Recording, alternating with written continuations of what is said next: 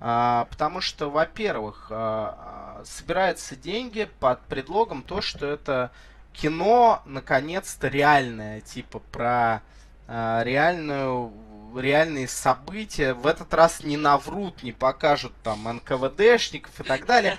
При этом берется история о 28 панфиловцах, которых не было в истории. Ну, типа, это вымысел, миф, э, придуманный советским журналистом, фамилию которого я забыл, чтобы повысить моральный дух бойцов на всех фронтах. Ну, то есть это вымысел. Это уже доказано официально, что не было ничего похожего.